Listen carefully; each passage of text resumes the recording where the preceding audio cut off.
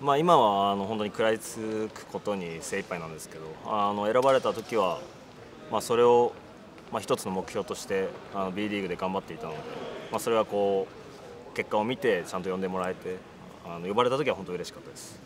うんまあ、あの外から見ていた時も結構フリーランスだったりとかあのチャンスがあればどんどんスリーポイントを打っていくスタイル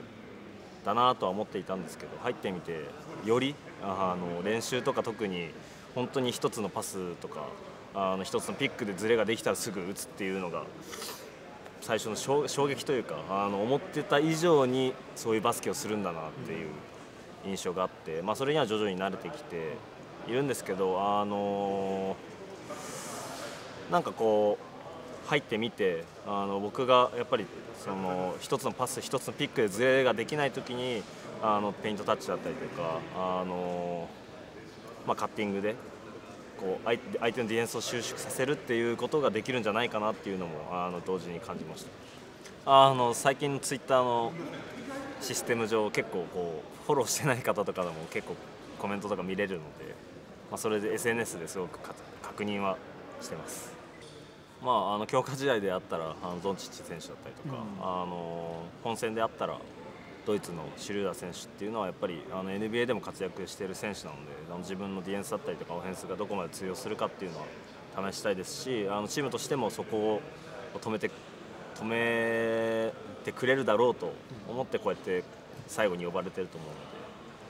まあ、すごく楽しみですしあの抑えてあの勝利に貢献したいと思ってます。本当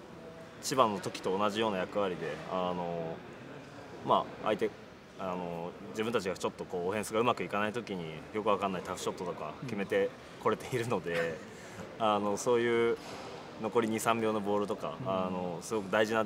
タイミングで決めていけるような選手に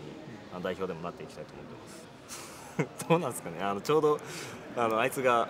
残り5秒ぐらいで1対1仕掛けてあやっぱ無理だっていうボールがちょいちょい来るのであの準備はしているので、まあ、確かにその千葉での経験がこう生きてるのかなと思います。じゃそういうシーンは代表だけじゃなくて、まあ、千葉ジェッツでもおなじみ？そうですね。あの、まあ、最後打つだろうって思っているんですけどやっぱあの彼小さいのでブロックされると思った時にパスパスが本当2秒1.5秒ぐらいで来るのでそれを打ち切るっていうのはあの去年昨シーズンずっとやってきたことなのでそれが、まあ、韓国戦でも出たんじゃないかなと思います。コアな原シューターブースターの皆さん。こんにちは。あの